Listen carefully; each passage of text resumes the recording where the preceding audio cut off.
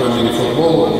Но наша молодежная команда является гордостью и патриотического движения нашей партии. Я с огромным удовольствием смотрел этот финал, и вы все видели, ребята блестяще играли.